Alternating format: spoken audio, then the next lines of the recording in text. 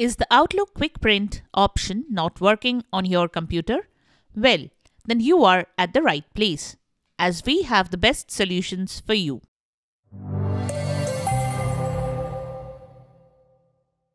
This is the Windows Club. Typically, Outlook allows you to print attachments directly from the app using the Quick Print option.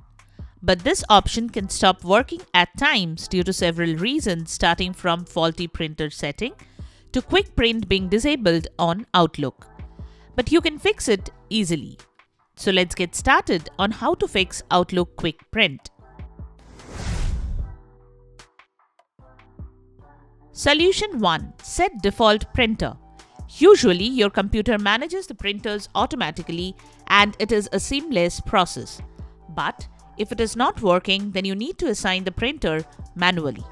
Now to do that, first go to Control Panel and click on Devices and Printers. Then right click on the desired printer and choose the option set as default. Now click on OK to save the changes.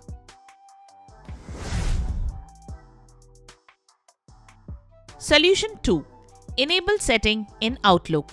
By default, Outlook does not have the setting enabled. So you need to turn on the setting manually, at least the first time. Once you do that, Outlook will print the attachments and email if required. Now to do that, first open the email you want to print, then print. After that, click on Print Options. Now select the printer you want to use, then click on Print option. Solution 3. Use Printer Troubleshooter. Now at times, the issue can be due to certain printer setting as well.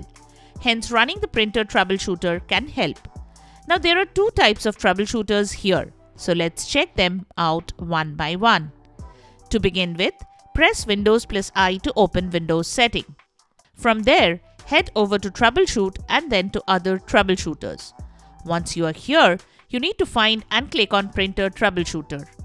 Then run the troubleshooter and this should find out and resolve any issues with the printer. Now, the next troubleshooter here is more drive specific and the journey starts with opening Windows setting. Then you click on Bluetooth and devices. Then you need to click on printers and scanners. After that, choose the printer or printers you want to troubleshoot and run the troubleshooter.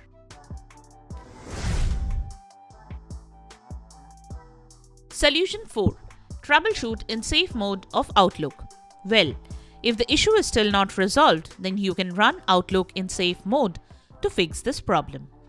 Just open the run command by pressing Windows plus R and type outlook slash safe and press enter.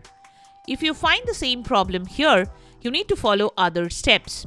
However, if you do not find the same problem here, you need to close the safe mode and disable all Outlook add-ins. Solution 5. Print manually. Now in case none of the above mentioned solutions worked, then you can make a print manually. The process is similar to what you would do for other files and thankfully it will work each time. So that's it. Subscribe to the Windows Club for all your tech solutions related to Windows. Thanks for watching.